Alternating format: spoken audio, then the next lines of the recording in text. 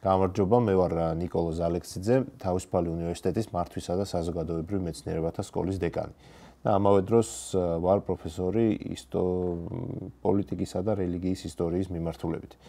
ამ დღეს ასეც მინდა რომ ვისაუბროთ, არის ჩემი კვლევის ერთ-ერთი სფერო, ის რაზეც ახლა ვმუშაობ და ამავე დროს რაღაცა რაზეც სტუდენტებთან ხშირად გვაქვს ხოლმე საუბარი ლექციების მანძილზე. და ეს კურსი არის იდეების ისტორიის კურსი, სადაც საუბრობთ დასავლური იდეების ისტორიის ფორმირებაზე ანტიკურობიდან თანამედროვეობამდე. და ნუ ჩემი უშუალოდ კვლევის სფერო, რაზეც დღეს სადაც მოკლედ მინდა რომ ვისაუბროთ და შეიძლება საინტერესო იყოს ფართო აუდიტორიისთვის, არის რელიგიისა და პოლიტიკის ურთიერთმიმართება ანტიკურობაში, შუა საუკუნეებში და რაც თავარია თუ როგორ ხდება ამ ანტიკური და შუა საუკუნეების მანძილზე ფორმულირებული იდეების, სიმბოლოების, ტროპების თუ კონცეფტების აპლიკაცია თანამედროვეობაში და შეიძლება ითქვას პირიქითაც თუ როგორ ხდება თანამედროვეების პროექცირება ანტიკურობაზე და შუა საუკუნეებზე. ნუ ჩემი აა ისე ვთქვათ განათლებით ვარ კლასიკური ფილოლოგი, ანუ ჩემი სპეციალობა ბერძნული და ლათინური აა ისტორია და ლიტერატურა და შესაბამისად აი ამ ორი რაღაცის შეერთებაზე მინდა რომ დღეს ვისაუბროთ, ხო? აა პირველი რაც ყველაზე აუცილებელია ხოლმე ასე დროს არის რომ გავარკვიოთ რა არის ეს ანტიკურობა? ანტიკურობას როგორც წესი აქვს სხვადასხვა განმარტება. ეს განმარტებები ყოველთვის იყო იდეოლოგიზებული, ვინ როგორ ხედავდა, სად იწყებოდა, სად თავდებოდა.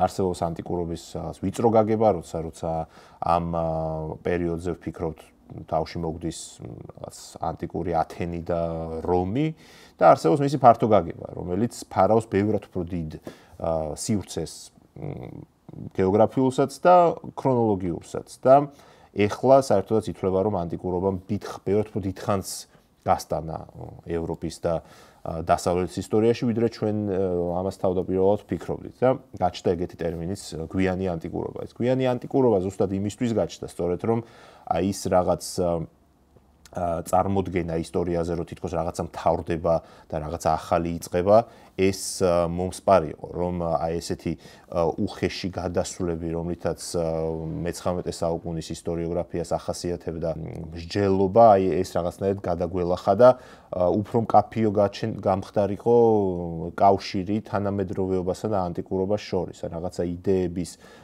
ტრანსფორმაციის ესე ვთქვათ შესრუტვის გაზავების სხვა იდეებთან, სხვა ტრადიციებთან, რელიგიურ ტრადიციებთან, აი ეს მემკვიდრეობითობა უფრო გამოჩენილიყო. და ასე ვთქვათ, შესაბამისად გათანამედროვებულიყო ის, რაც თითქოს ასე დაშორებულია ჩვენგან ბევრი თვალსაზრისით. ხა, ძალიან ბევრ თემაზე შეიძლება საუბარი, როცა ვლაპარაკობთ ანტიკურობის თანამედროვეობაზე, შეიძლება ვისაუბროთ პოლიტიკურ იდეოლოგიებზე, იმავე რესპუბლიკის იდეაზე, დემოკრატიის იდეაზე, შეგვიძლია ვისაუბროთ რა თქმა უნდა ფილოსოფიაზე და ფილოსოფიური იდეების შემდეგ ასე ვთქვათ ფსიქოლოგია, თანამედროვე ფსიქოლოგიაში თუ ფსიქოთერაპიაში გარდასახვაში და ასე შემდეგ. დღეს რაზეც მინდა რომ ვილაპარაკოთ, არის ერთი ასეთი ასპექტი ანტიკურობის თანამედროვეობისა, ეს არის კულტის ფენომენი, ხო? რას ნიშნავს კულტი და რაც ყველაზე მნიშვნელოვანია, რაც ჩემი ინტერესისთვის არის ყველაზე მნიშვნელოვანი, ეს არის კულტისა და პოლიტიკის ურთიერთქმედება და სწორედ ჩემ რა ვთქვი ციგნი რომელზეც ახლა მუშაობ და ცოტა ხანში გამოვა ეხება სწორედ ამას როგორ ხდება წმინდანთა კულტის თუ სხვადასხვა ტიპის კულტების ინტეგრაცია პოლიტიკურ დისკურსში. იმიტომ რომ როგორც ვიცით, ეს თანამედროვეობისთვის საკმაოდ დამახასიათებელი რამ არის, ხო, რომ მიუხედავად იმისა, რომ ჩვენ გონია, რომ თითქოს დასავლურმა სამყარომ რაღაცნაირად დაძლია ეს რელიგიურობა და სეკულარული გახდა სიამდვილეში რელიგიური კონცეფტები, რელიგიური რელიგიაში ჩამოყალიბებული სიმბოლოები თუ მეტაფორები რაც თავარია ინტეგრირებული გახდა პოლიტიკურ დისკურსებში და ეს არ არის ახალი ამბავი ამაზე მე-20 საუკუნის დასაწყისიდან ფილოსოფოსები და პოლიტიკის ფილოსოფოსები და პოლიტიკის თეორეტიკოსები ბევრს მსჯელობენ ხო დაწყებული კარლ შმიტით და თანამედროვე ფილოსოფოსებით. ხოლო იმისთვის რომ ეს ყოველთვის ნათელი გახდეს თუ რა კავშირში არის კულტისა და კულტსა და რელიგია რელიგიურ აზროვნებასა და რელიგიურ ფენომენებსა და პოლიტიკურ დისკურსებს შორის ჩემი აზრით ეს ვთქვათ საწყისი ეტაპი რის სადაც უნდა წავიდეს ადამიანი და რასაც უნდა ეს ვთქვათ ჩაეფლას ეს არის რომი რომი როგორც ქალაქი ანტიკური რომი როგორც ფენომენი და როგორც იდეა. თუ თქვენ ნახავთ რომს, რომის ტოპოგრაფიასაც, რომის აი ისე ადრეული იმპერიული რომის ტოპოგრაფიას, მის არქიტექტურას, გადანაწილებას ქალაქში, მის მართლობის მეთოდებს და რაც თავარია იმპერატორის ფენომენს, დაწყებული ოქტავიუს ავგუსტუსიდან და აი ამ საჯარო რელიგიის ფორმირებიდან დაწყებული, რომელიც უფრო ადრეს დაიწყო, მაგრამ რელიგიის საჯაროობა გახდა განსაკუთრებულად ესეთი აქტუალური რამ ადრეულ რომში, იმპერიულ რომის დასაწყისში. ჩვენ ნახავთ, რომ აი სწორედ ამ სივრცეში ჩდება პირველად ეს თქვა პოლიტიკისა და რელიგიის მიმართება იმგვარი, როგორც არის თქვა საჯაროსა და კერძო სივრცის ურთიერთქმედება, ხო? და მსჯელობა იმაზე თუ რა არის საჯარო, რა არის კერძო და როგორ ურთიერთქმედებს ეს ერთმანეთთან. ну ამისი ძალიან კარგი მაგალითი ისევ და ისევ არის ანტიკური რომი, იმიტომ რომ თქვენ თუ ნახავთ და ეს ვთქვათ იმოგზაურებთ რომში, რომში როგორც ქალაქში, ნახავთ რომ აი საჯაროობა იქ არის ეს ვთქვათ ძალიან მნიშვნელოვანი ფენომენი არის, რომ კულტი, რელიგია, რელიგიური პრაქტიკა, ესენი ყველაფერი აა რომის ფარგლებში არის საჯარო, ანუ სამოქალაქო ფენომენები არის. ამიტომ არის რომ ძალიან ხშირად ანტიკურობაში განსაკუთრებით ასე ვთქვათ ადრეულ ქრისტიანობის დასაწყისში რომაელებისთვის, რომის ვთქვათ ელიტებისთვის არ არ არ იყო მნიშვნელოვანი შენი ასე ვთქვათ პირადი სივრცე, იმ თვალსაზრისით რომ შენ რელიგიურად რას წარმოადგენდი? სახში, ხო, სახში რაც გინდა ის გეკეთებინა და ამის ძალიან კარგი მაგალითები არსებობს, რო თქვენო ნახოთ როგორ ხდებოდა რელიგიური პრაქტიკები, თქვა ქრისტიანების რელიგიური პრაქტიკები ადრეულ იგი ადრე ქრისტიანობაში, ხო, ესენი იყო სახლებში არსებობდა პატარ-პატარა საკურთხევლები, ხატები იდებოდა და ნუ როგორც იცით ქრისტიანობა რომში ეს იყო კატაკომბების რელიგია, ანუ მიწისქვეშა მიწისქვეშა უზარმაზარი სისტემები, სადაც აი ძალიან კაფიოდ განირჩეოდა ეს სივრცეები, ხო, პოლიტიკური სივრცე და კერძო სივრცე.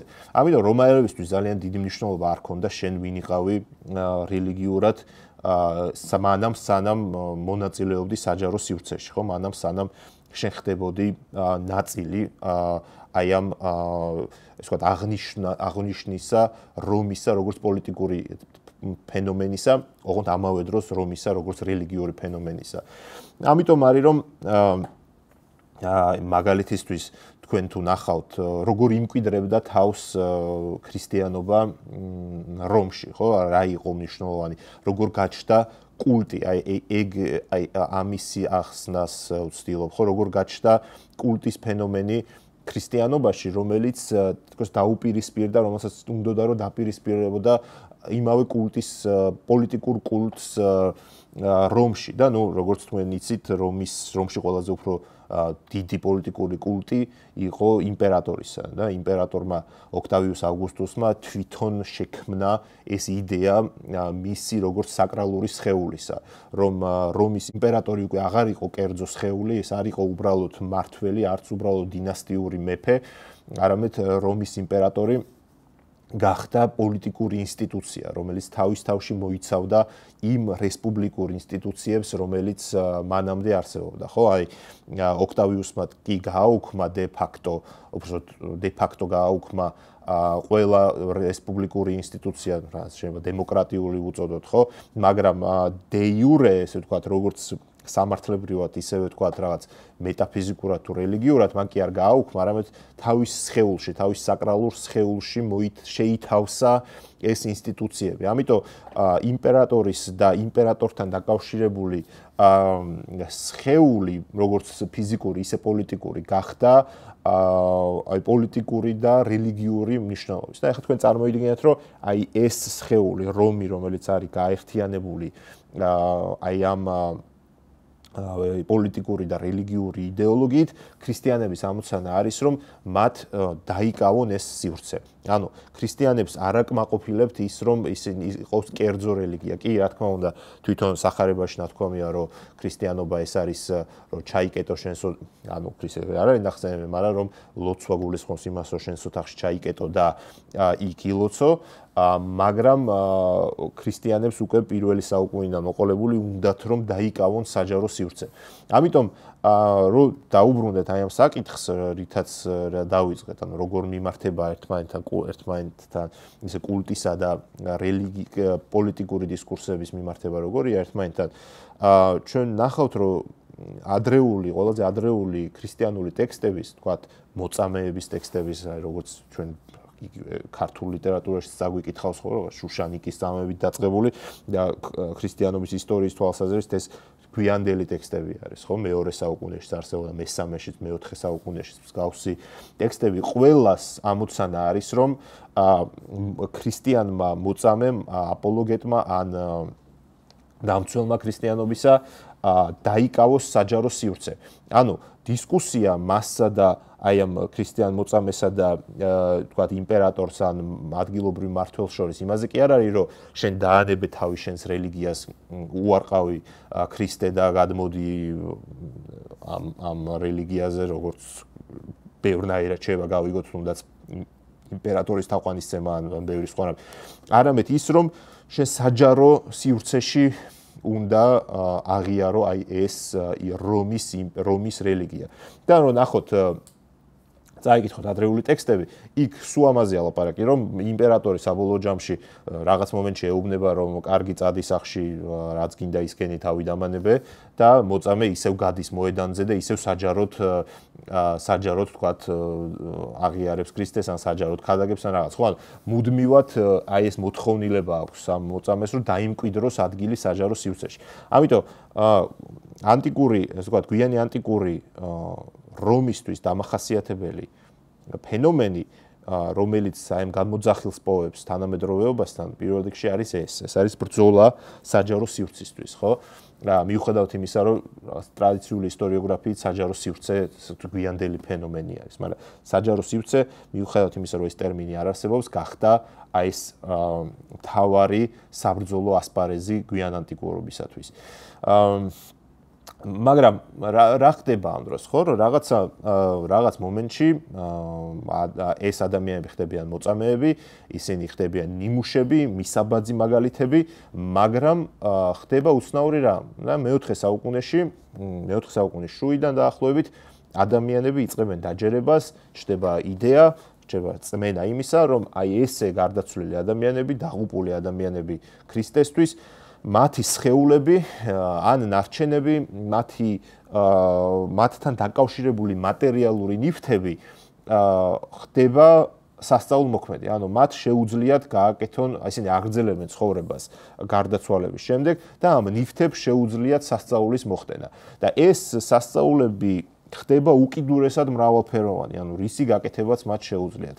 თქვენ წაიკითხავთ შემთხვევებს, როცა ხდება ვიღაც დამწვარი მოწამის ფერფლის ჭამა მაგალითად, ან ვიღაც შეულთან ძილი, ან შეყნოსვა, ან დალევა, ან აი ძალიან დიდი ფანტაზიით არის გამორჩეული ის თუ როგორ მიემართებიან ადამიანები აი ამ გარდაცვლილ სხეულებს ძალიან მატერიალური ხდება ქრისტიანობა, მატერიალური ხდება რელიგია და და მნიშვნელოვანი ხდება ის რომ აი აი ამ მატერიალურობამაც, მატერიამაც დაიკავოს საჯარო სივრცე, რომ გახდეს მათი მოხდეს მათი პოლიტიზაცია.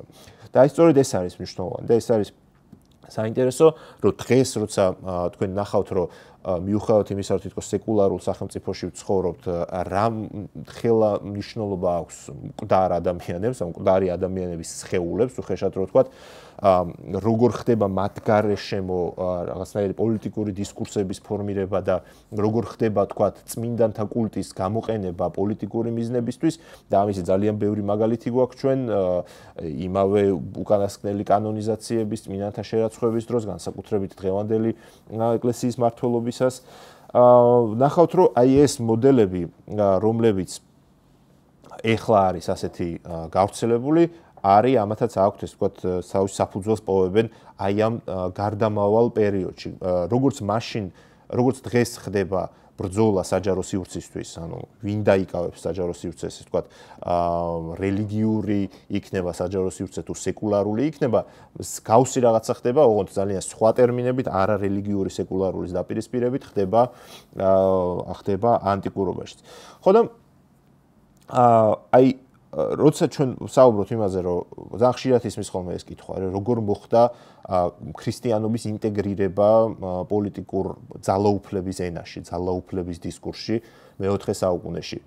ხდება სწორედ ასე, რომ იმპერატორი, რომელიც რომელსაც ჭირდება საკუთარი სხეულის საკრალიზაცია და საკრალიზაცია ხდება როგორც პოლიტიკური, ისე რელიგიური, ის მიმართავს იმ იარაღებს, რომელიც მათ მას აქვს იმ მომენტში და იმ მეოთხე საუკუნიდან ეს იარაღები არის უკვე გარდაცვლილი წმინდა ადამიანების სხეულები.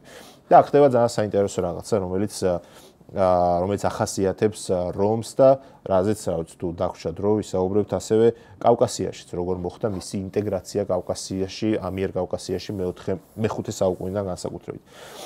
ჩვენ ამბობთ იმას, რომ რომის როგორც იდეის რომის იმპერატორის როგორც იდეის ფუძემდებელი არის ოქტავიუს ავგუსტუსი. მან ტექსტითაც გააფორმა ეს ყველაფერი და როგორ ხდებოდა ამისი ლეგიტიმაცია? ხდებოდა იმით, რომ ოქტავიუს ავგუსტუსისთვის მნიშვნელოვანი იყო, რომ ის მოქცეულიყო მას მას ეს ვთქვათ საკუთარ სადავეებში მოექცია ისტორია როგორც ასეთი. ხო ის გამხდარიყო ისტორიის მატარებელი. აა მაგრამ რა არის ყველაზე უფრო ესეთი ისტორიული რელიგია იმ თვალსაზრისით, რომ რელიგია, რომელსაც რომელსაც აქ ძალიან მკაფიო განცდა ისტორიისა, ისტორიისა როგორც რაღაცის რასაც აქვს დასაწყისი, შუა და აუცილებლად შუა რაღაცა კულმინაცია თუ განვითარება და აუცილებლად აქ დასასრული ეს არის ქრისტიანობა. და სწორედ აი მეორე იმპერატორი, რომელმაც შექმნა ქრისტიანული идеოლოგია, ქრისტიანული პოლიტიკური идеოლოგია, ისეთი როგორც ეხა ჩვენ ვიცით, ისეთი როგორც როგორ ისეთი პოლიტიკური ასპექტი, პოლიტიკური სახეობით, როგორც ჩვენ ვიცით, ეს არის იმპერატორი კონსტანტინე. და კონსტანტინე აკეთებს საოცარ რაღაცებს ჯერ რომში, შემდეგ მის მიერ ახლად დაარსებულ კონსტანტინოპოლში, ზოგჯერ პარალელურად, რომ იმ კონსტანტინემ ნახა გასაღები, გასაღები თუ როგორ მოახერხოს, როგორ მოახდინოს ქრისტიანობის ინტეგრაცია პოლიტიკაში, პოლიტიკურ იერარქიაში და სრულიად გენიალური გასაღები იპოვა ამისთვის და ეს იყო სიმბოლოების, სიმბოლოებით და ნიფთებით თამაში, ესე ვთქვათ, მათი მათი манипуляция, მათი ინტეგრაცია, მათი გადაადგილება, გადმოადგილება და ტარება აქეთ-იქეთ და მეოთხე საუკუნიდან და თუ თქვენ ნახავთ იმ ცნობილი ტრიერის სპილოსტულის ეს თქვა ქანდაკებას ეს არის დიდი ეპოქა აი ამ მატერიის მატერიალური ნივთების აქეთიკი ტარებისა, ხო, ანტიკვარიზმისა. კონსტანტინეს ეს ისედაც ახასიათებდა, ხო, თქვენ რომის მემკვიდრეობას უნდა ახავთ რომში მაგალითად ეს სპოლიები ქვია ამას, ძველი ძველი ხელოვნების ნიმუშის გამოყენება ახალი ხელოვნების ნიმუშის შესაქმნელად. და ეს ანტიკვარიზმი მას ახასიათებდა ისევე როგორც აა როგორც ოქტავიუს ავგუსტუსსაც, ხო?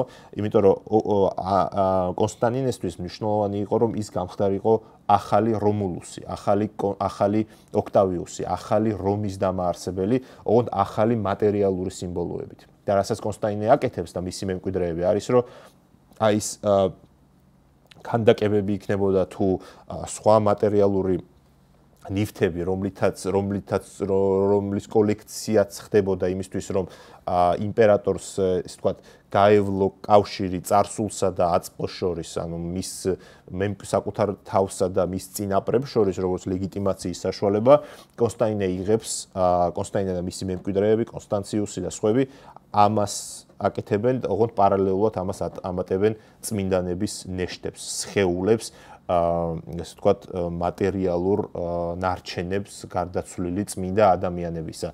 და ამისი ყველაზე ისეთი კარგი მაგალითი არის თუ თქვენ შეადარებთ კონსტანტინეს იმპერატორ კონსტანტინეს მაუზოლეუმს რომელიც კონსტანტინოპოლში აშენდა, თუმცა შემდეგ კონსტანტინოპოლის ოსმალების მიერ აღების შემდეგ დაანგრიეს და ეხლა რო დგას ფატიჰის მეჩეთი მანდ დგას. ეს მაუზოლეუმი მან ა მაუზოლეუმი იყო როტუნდის ფორმის, იყო დაახლოებით ისეთივე მოყვანილობის, როგორც ოქტავიუს ავგუსტუსის ეხლაც არსებული მაუზოლეუმი რომში. ოღონდ მან ახალი ასპექტი დაამატა, მან მისმა შვილმა კონსტანციუსმა რთული სათქმელია და ეს იყო, რომ აი თვითონ ხო ცენტრშია დამარხული, მოიტანა და შეუკვეთა ქრისტეს მოციქულების ნეშტები იმისთვის რომ აი მის გარშემო ყოფილიყვნენ ესე დამარხულები დამარხულები აი ამ როტუნდის ამ რგვალის რგვალ შენობაში. რა იყო ამისი თავარი ამოცანა? ამ და მიზანი? პირველი ეს იყო რა თქმა უნდა მისი ლეგიტიმაცია რომ ის არის ნაწილი აი ამ ტრადიციისა, ის არის სხეულებრივად მემკვიდრე ქრისტიანული ტრადიციისა და და რომ არ არსებობს აი ამ ეს ფენომენი აწი უკვე ქრისტიანობა, ქრისტიანობა როგორც ისტორია, როგორც მეხსიერება არ არსებობს გარეშე პოლიტიკისა, გარეშე ურთიერთ ლეგიტიმაციისა პოლიტიკურ იერარქიასთან ერთად. და სწორედ ამის შემდეგ იწყება აი ესეთი უკვე ძალიან აქტიური манипулირება ამ სხეულებით. მერე უკვე დასავლეთ რომის იმპერიაში შარლემანის დროს მე-8 საუკუნიდან შემდეგ უკვე აი სულიად სხვა დონეს აღწევს. უკვე დიპლომატიურ საჩუქრებზე გადადიან, ხდება ამპულების და სხვა ტიპის რელიკვიარების, ეს სხვა შესანახი შესანახი კონტეინერები ბით ვაჭრობა, მოპარვა, გადაცემა, და უამრავი ისტორიები არის უკვე აგებული აი ამ სხეულების გარშემო და ასე რომ აი ეს ამ ეპოქა შეიძლება ეწოდოს თქვათ მკვდარი სხეულებისა და სოციალური პოლიტიკის რაღაცნაირი შეჯახება და შეერთება რომლებიც ქმნიან აი ამ სულად ახალ პოლიტიკურ და რელიგიურ დისკურსს ცოტა უფრო მოგვიანებით რომ მეხუთე საუკუნეში არსებობდა ესეთი დინასტია რომის იმპერიისა, ეს თეოდოსიანელებისა, რომელსაც კიდევ უფრო კაფიოდ ქონდათ გაცნობიერებული ეს და მაგალითად იყო ესეთი იმპერატორ თეოდოსის და პულქერია, რომელმაც ალბათ შექმნა პირველად აი ესეთი ფიზიკური ასოციაცია მასსა და ქრისტიანო ქრისტიანობის ესე ვთქვათ ფუძემდებელ ფიგურებს შორის პირველ რიგში პირველ რიგში ღვთისმშობელ მარიამთან. მაგრამ ის აკეთებს ძალიან საინტერესო რაღაცას. ეს არის ისტორიის კონცეპტუალიზაცია აი ამ სხეულების საშუალებით, ხო, რომ რომ სპეციალურად უკვეთავს, რომ რომში ჩამოვიდეს ორი ტიპის ორი ტიპის წმინდანის სხეული. ერთი არის ძველი აღთქმისა, ხოლო მეორე არის თანამედროვე, ასე ვთქვათ, ახალ מחალ მოწამის და დაასვენოს ის მის კერძო კერძო, ესე ვთქვათ, უბანში არსებობდა ესეთი უბანი კონსტანტინოპოლში, პულქერიას უბანი. და რატომ აკეთებს ამასაც? ისევ იმიტომ, რომ აი ეს მემკვიდრეობითობა, ისტორიის ცნება, ისტორიის გაგება ქრისტიანული, რომელიც რომელიც შედგება ამ გარდატეხი საფეხურებიდან, შესაქმიდან ქრისტეს მეორე მოსვლამდე, მას როგორც ქარიზმატულ სხეულს, იმპერი იმპერიულ სხეულს თვითონ თავის თავზე აიღო ამ ისტორიის ეს თქვა წნეხი, ხო? წნეხიც და ტვირთიც, რომ აი ის როგორც ქარიზმატული იმპერატორი და იმპერიული და იმპერიული დინასტიის წარმომადგენელი არის მატარებელი ამისა. და ეხლა კითხვა არის ასეთი, რომ რამდენად უნივერსალური იყო ეს, ხო? რამდენად ხდებოდა აი ამ რიტორიკის და ამ დისკურსის, ესე ვთქვათ, აპლიკაცია თანა იმ დროისთვის თანამედროვე სხვა რეგიონებში და კერძოდ კავკასიაშიც. და აი კავკასია, ამიერ კავკასიამ როგორ როგორ იმემკვიდრევა ასეთი რამ. თქვენ თუ ნახავთ თანამედროვე წმინდანების კულტის პოლიტიზაციის ტენდენციას, ნახავთ ეს რაღაცას, რომ მას ახასიათებს განსაკუთრებით დღევანდელი პატრიარქის მართლობის პირობებში ახასიათებს ძალიან ესეთი ახლო ასოციაცია ნაციონალურსა და საკრალურ შორის, ხო? რომ ნაციონალური რომ ნაციონალურ ანუ ერი სახელმწიფო საზღვრები რაღაცნაირად უნდა იყოს თარგმნილი რელიგიურ ინტერპრეტ რელიგიურ რეპრეზენტაციაში. ხო და აი თქვენ რომ ნახოთ უკანასკნელი კანონიზაციები, ანუ წმინდანთა შერაცხვის ტენდენციები, ნახავთ რომ არის ძალიან დაკავშირებული საქართველოს რეგიონებთან, ხო? და თვითონ თითო რეგიონს, რომელიც არის ასე ვთქვათ, მოსაზღვრე რეგიონი ან რეგიონი, რომელიც არ არის აღარ შემოდის, ეხლა არ არის საქართველოს ნაწილი, მაგრამ ისტორიულად იყო, ან რელიგიურად ბჭყალებში პრობლემური რეგიონი, როგორც არის აჭარა, ყველას აქვს რაღაც თითქოს თავისი მფარველი წმინდანი, რომლის ფუნქციაც არის, რომ აი ეს ეს რეგიონები შემოიყვანოს საქართველოს როგორც პოლიტიკური სხეულის ერთიან სხეულის ნაწილი გახადოს. ნუ ამის კარგი მაგალითი არის მაგალითად აბუსერიძე ტბელის კანონიზაცია ადამიანისა, რომელიც ვიცით რომ აჭარიდან იყო, მაგრამ მისი და იყო ავტორი, რომელსაც რამდენიმე ტექსტია შემორჩენილი, მისი წმინდანობა ძალიან სადავოა, რატომ არის წმინდანი, მაგრამ ფაქტია რომ მხოლოდ და მხოლოდ იმიტომ რომ ამ რეგიონთან არის ასოცირებული. იგივე არის, იგივე ეხება ბევრ სხვა რეგიონსაც. და აი სწორედ ესეც საზღურების შემოსაზღურის ტენდენცია, რომ როგორ შეიძლება მე განსაზღვრო ჩემი სახელმწიფოს, ერის სახელმწიფოს აბრალოდ სამეფოს ანტიკურობისთვის საზღურები წმინდა სხეულების ესე ვთქვათ განლაგებით და და შემოფარგვლით და ესე ვთქვათ ტარებით მათი ან ან ფიზიკურად დალაგებით ესეც აი ეს სიახლე შემოიტანა მეხუთე საუკუნის კავკასიურმა, სამხრეთ კავკასიურმა ტექსტებმა ზოგადად ჩემი აზრით ქრისტიანობის ისტორიაში.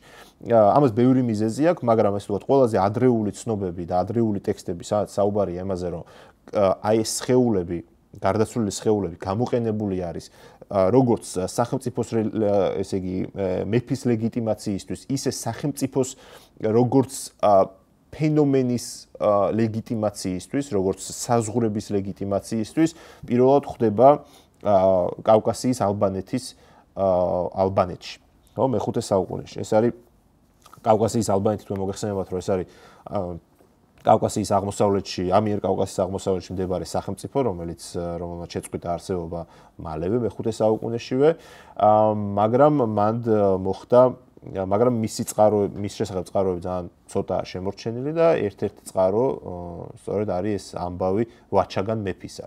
და თუ თქვენ წაიკითხავთ ვაჩაგან მეფის ცხოვრებას, რომელიც მნიშვნელოვანი ტექსტია იმისთვის იმათვის, ვისაც აინტერესებს სწორედ ადრი ქრისტიანული ადრი ქრისტიანული პოლიტიკური თეორია, პოლიტიკისა და რელიგიის ურთიერთქმედება.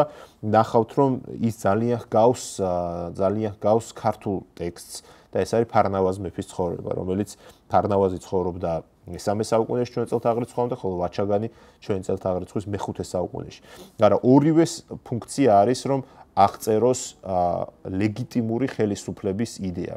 თუ რას ნიშნავს ლეგიტიმური ქარიზმატული მართველი, რას ნიშნავს აა რას ნიშნავს მისი ადგილი, ესე ვთქვათ, ისტორიაში და სახელმწიფოში და შესაბამისად აი ეს სახელმწიფოს როგორც ფენომენის ლეგიტიმაცია როგორ ხდება აი ამ გრანდიოზულ ისტორიის სოფლიო ისტორიის თუ ქრისტიანობის სოფლიო ისტორიის ფარგლებში.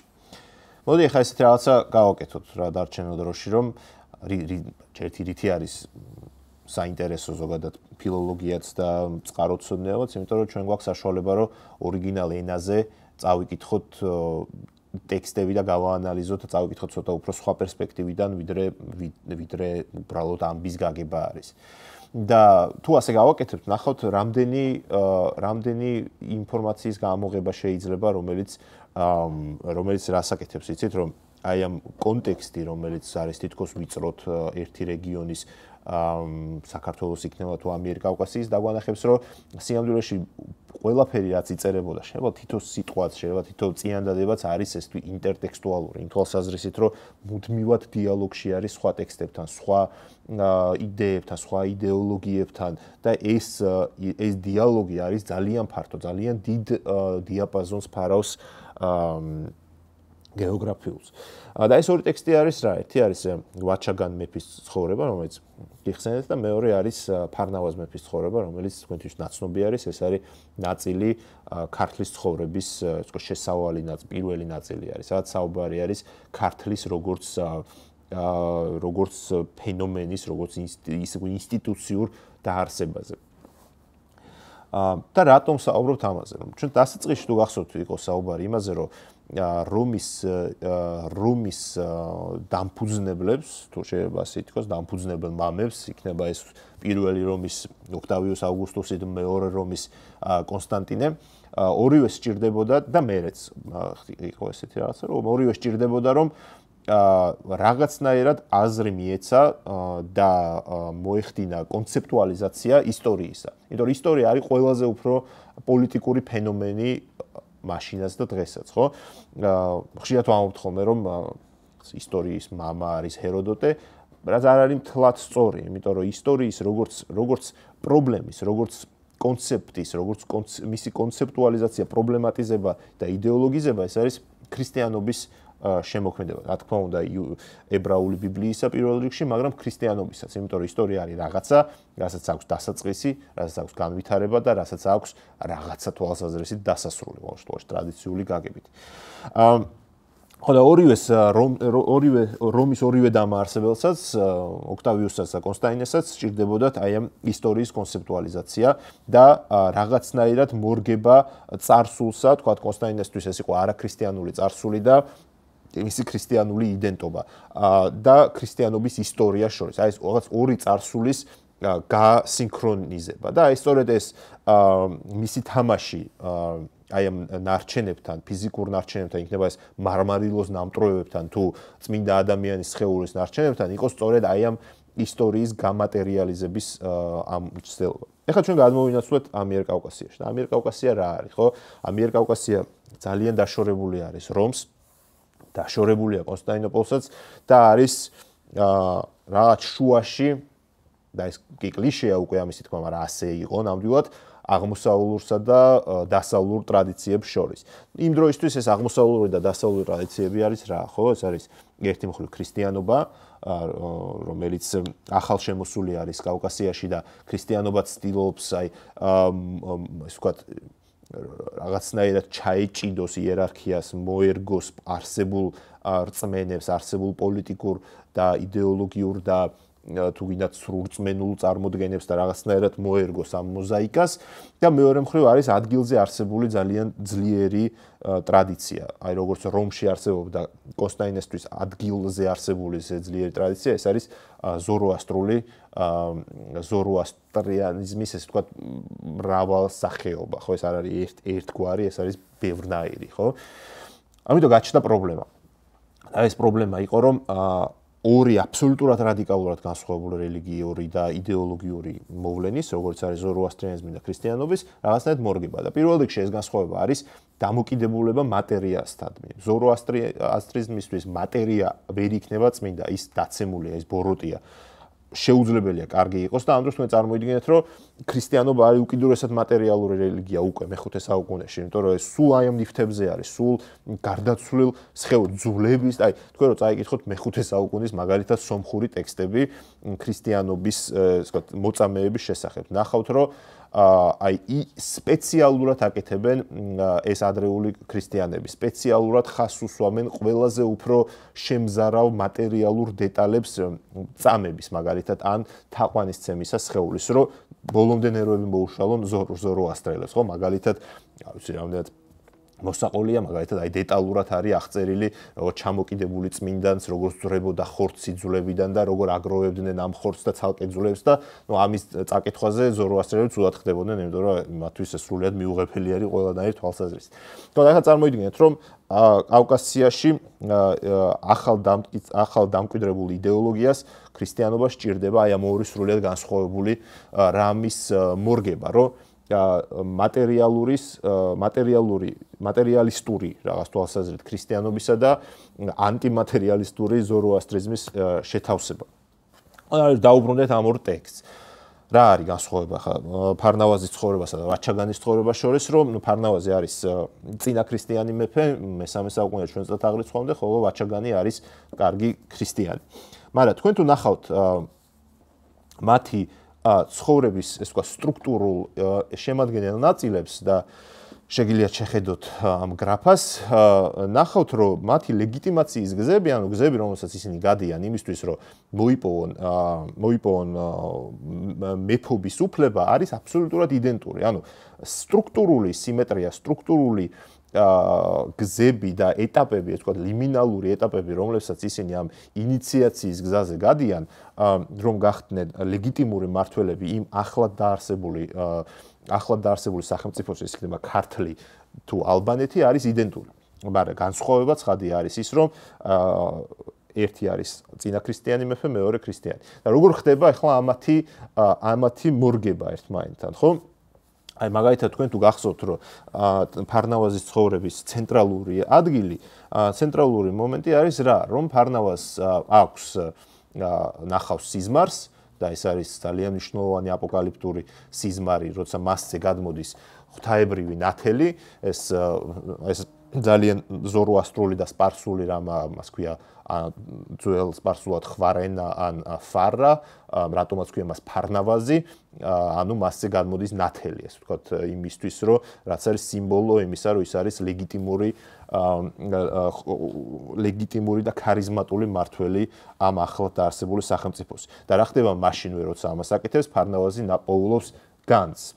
განძს, რომელიც ასევე ტიპ განძის პოვნა, რომელიც ასევე ტიპიური მოვლენა არის. აა ირანულ და ტრადიციულ ტრადიციულ საზოგადოებებში, ოღონდ რას უკეთებს ამ განს მაშინვე თარგმნის მას პოლიტიკურ კაპიტალად. ის ამ განს გამოიყენებს, რომ დასავლეთის მართველი ქუჯი იქნება თუ ჩtildeოეთ კავკასიელები შემოიერთოს და და საბოლოო ჯამში ანტიოქოსი ასე ვთქვათ, ეკუმენური იმპერატორი სგან მიიღოს მართლობის უფლება. და ქრისტიანებს რა სჭირდებათ ამ დროს, რომ ეს ტრადიციული საფეხურები ინიციაციისა იქნება ეს ხვარენას გადმოსვლა თუ იქნება ეს განძის პოვნა გააქრისტიანული. და თარგუნონ ახალი ეს ეს ვთქვათ მათვის ნაცნობის სისტემა ის შინაარსი ეს ვთქვათ შინაარსი გამოცვალონ და სისტემა დატოვონ იგივე. აი ეს იყო ამოცანა ქრისტიანობისა. და უერთი გადახოვო რო გავაკეთოთ. აი მაგალითად რომში რომს რა ახასიათებს ძალიან რომ აი მაგალითად რომში ფორუმზე არის ესეთი ტაძარი ქვია კოზმას და დამიანეს ტაძარი. კოზმა და დამიანე ეს ტაძარი მე-6 საუკუნეში დაარსდა, მაგრამ კოზმა და დამიანე არიან დიდი წმინდანები, რომლებიც ძალიან პოპულარული წმინდანები არიან, მაგრამ მათი მთავარი ფუნქცია იყო რომ ისინი იყვნენ მკურნალები. აა მკურნალები აა და ნუ შესაბამის სასწაულებს აკეთებდნენ. იმ ადგილას გავრცელებული იყო კულტი ეგრეთ წოდებული დიოსკურებისა, ისინიც ორი კურნალი არის, რომლებიც იყო წარმართული წარმართული რელიგიი, წარმართული ტრადიციიდან იყვნენ რა თქმა უნდა და ერთ-ერთი რაც ქრისტიანებმა გააკეთეს, ადგილობრივებს უთხრეს, რომ ჩვენ შინაარს იმავეს გიტოვებთ, რომ ესენი არიან კურნალები, ოღონდ მოდი ახლა ის დავივიწყოთ ის ფორმა და დავარქვათ ახალი სახელები და იქნებიან კოსმა და დამიანი. ამიტომ ანტიკურობა, გვიან ანტიკურობას ეს ახასიათებს ხშირად, რომ აი თქვა შინაარსის გამოცვლა და ფორმის დატოვება. და დაუბრუნდეთ კავკასიაში. და რასაკეთებენ? რასაკეთებს ვაჩაგანის ისტორიის ავტორი? ყველაფერს იმავე სტოებს, ეს ვთქვათ, ინიციაციის საფეხურებისთვის, ყველაფერს იმავეს გადის, ოღონდ აი ეს ის კულმინაციური მომენტი ვაჩაგან ფარნავაზის ცხოვრებაში, სადაც ის მასი გადმოდის ფარა, ის ჩანაცვლებული არის ნათლობის, ნათლობის ნათლით არის ჩანაცვლებული და ხოლო განძის პოვნა არის ჩანაცვლებული პოვნით ასევე განძით, განძის, ოღონდ არა იმ არა მატერიალური განძის, არამედ წმინდანთა სხეულების. ანუ წმინდანთა სხეულები ანაცვლებენ განძს. ეს მე ძალიან ხშირად ხდება ხოლმე. მაგალითად, იმავე ალბანთა ცხოვრებაში რამდენჯერმე არის, აი, ესეთი ამბივალენტური დასახ სიტყვები გამოყენებული, განძი არის ნახსენები, მაგრამ ვერ ხვდებით უკვე განზია საუბარი თუ წმინდა წმინდა ნარჩენ წმინდა სხეულებზე არის ნარჩენ რელიკებზე არის ნარჩენ საუბარი ხო? იმიტომ რომ თვითონ ავტორებმა არიცოდნენ რომელზე იყო ლაპარაკი ხო? როგორ იწერებოდა ტექსტები მაშინ? რომ ისინი იღებდნენ რაღაც ძველ ტრადიციას ასე თქვა განზია ნახსენები მაგრამ უკვე ქრისტიანია და მან უკვე აღარ იცის ეს რა იგულისხმება ამაში და მისი ქრისტიანულ ინტერპრეტაციას უკეთებს ამას და ამიტომ ვაჩაგანის ამბავი, რომელიც სტრუქტურული იგივეობას ავლენს ფარნავაზის ცხოვრებასთან, არის მთლიანად ამბავი, ეს არის თავგადასავლების, ეს არის quest-ი არის პირდაპირ მნიშვნელობით აი ამ წმინდა სხეულებისა, რომ იპოვიან ერთ წმინდა სხეულს, მე ის მიანიშნებს მეორეს, მიანიშნებს მესამეს, არის მინიშნებები, გამოცხადებების სასწაულები და საბოლოო ჯამში არის ამოცანა, რომ იპოვონ ალბანეთის მთავარი დამფუძნებელი მამის სხეული, მამის ნეშტი. ეს არის პატრიარქი გრიგორისი, რომელიც უბრალოდ ლეგენდარული ფიგურაა, პატრიარქი გახდა თინეიჯერობაში. რაც ნუ ასე ვერ იქნებოდა, მაგრამ აი ტრადიცია არის.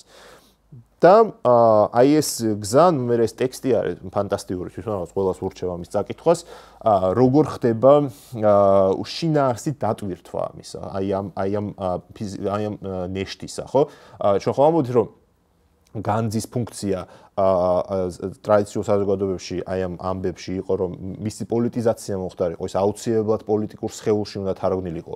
იგივე არის აქაც რომ არ არის მარტო საკმარისი რომ მარტო მეფემ უბრალოდ იპოვოს ეს იპოვოს ეს ნეშტები არამედ უნდა თარგმნოს ის პოლიტიკურ კაპიტალში უნდა თარგმნოს გადააქციოს ინვესტირება ჩადოს ეს თქვა სახელმწიფოს როგორც ფენომენის ფორმირებაში და ამას აკეთებს სწორედ ვაჩაგანის. მე რეიქ ბევრი დეტალი არის, რომ აი ეს რომ ინვესტირება სახელმწიფოში პოლიტიკურობა გულისხმობს არა მხოლოდ პოლიტიკურ მნიშვნელობას, არამედ ისტორიასაც, რომ ისტორიის მატარებლები უნდა იყვნენ, როგორც ქრისტიანობის ისტორია, უნივერსალური ისტორიისა, ისე რეგიონის ისტორიისა და აი ეს ისტორია უნდა იყოს ინვესტირებული აი ამ სივრცეში, აი ამ ამ ახალ ახლად დაარსებულ სახელმწიფოში. ერთი რაც შეიძლება ითქვას არის რომ კავკასიურ ტრადიციებს ახასიათებთ ბევრად უფრო საკმაოდ უფრო ადრე ვიდრე სხვაგან, სხვა შორის აი ამის პოლიტიზება. ძალიან უცნაური ფენომენია და ამაზე ბევრი გვიმსჯელია, ბევრი ის განხილვა იყო თუ რატომ არის რომ კავკასიაში უფრო ადრე მოხდა აი ამ წმინდა სხეულების ასეთი ტიპის პოლიტიზაცია და ასოცირება პოლიტიკურ სხეულთან ვიდრე სხვაგან.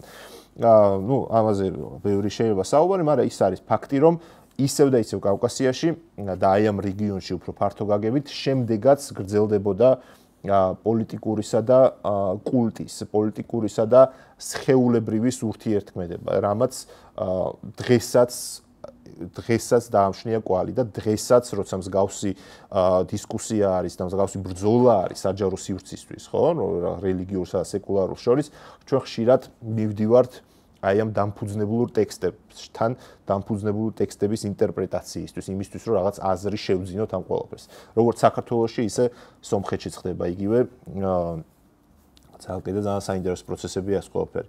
მოგეთ, მე მგონი დღეს ჩვენ შეგვიძლია რომ ამ ამ ამბით დავასრულოთ, იმიტომ რომ ბევრი დეტალი აქვს ამას, ბევრი ტექსტის კითხვა და ბევრი პარალელის პოვნა შეიძლება და ძალიან საინტერესო თავგადასავლია თავისთავადაც. თუმცა მე მგონი ის შევძელით, რომ მეჩვენებინა რანაირად ხდება კულტისა და პოლიტიკის ურთიერთქმედება აი იმ ეპოქაში, რასაც ქვია გვიან ანტიკურობა და თანამედროვეობა როგორ არის მემკვიდრე აი ამ ძალიან ანტიკური ფენომენებისა. მადლობა ყურადღებისთვის.